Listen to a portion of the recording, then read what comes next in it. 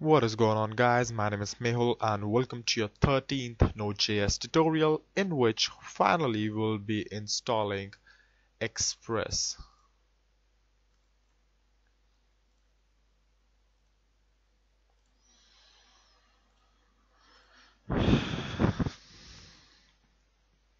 What is going on everybody, welcome to your 13th Node.js tutorial in which we'll be finally installing Express.js framework.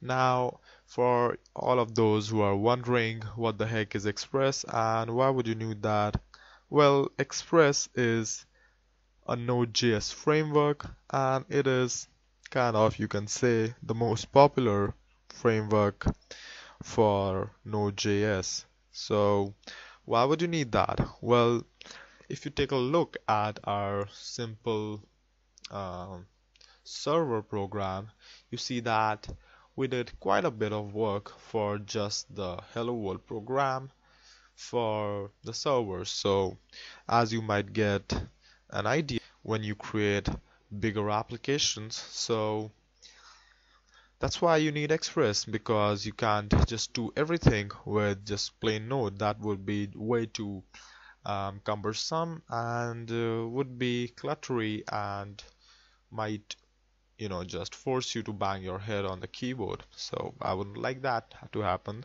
So that's why we have Express. It comes with a lot of plugins and support and documentation and uh, all that good stuff. So let's get started. To install Express hop into your terminal write npm install express and save. Now make sure to include this so that it just pushes your express into a file known as package.json which just manages all of your packages. So hit enter and let it run for a while. And as you can see a new folder is created here node modules. So if I just take a look in here I can see this express folder and all of the magic goes in here.